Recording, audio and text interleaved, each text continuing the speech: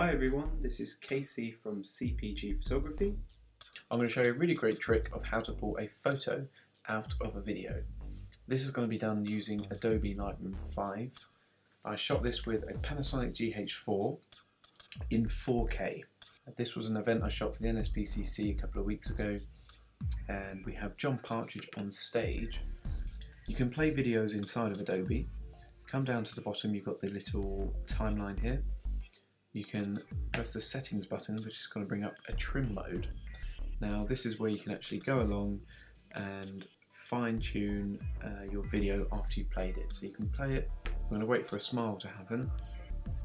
And if you miss it, don't worry too much because you can instantly press pause, for instance there, that's actually quite spot on. This button allows you just to move back frame by frame. For instance, we like this one here, you've got this drop down menu, select that, capture frame, that drops right down here into your timeline. You can select that, you see it's a JPEG. We can then go into edit mode, so we'll press R to go to crop mode, we'll bring that in, and maybe we'll get rid of that bit there as well. Excellent. We'll go ahead, and export that to our desktop,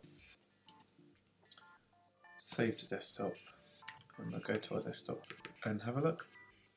Simple.